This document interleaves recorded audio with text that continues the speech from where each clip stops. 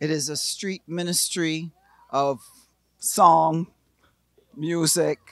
performance, dance, lifting up Christ and lifting up peace. And I want to express truly the gratitude that I feel because as we look towards dealing with a national initiative, a peace movement, that there's purpose in peace, we need the various sectors of our society coming out and sharing, blessing our communities with mentoring, blessing them with motivational speeches,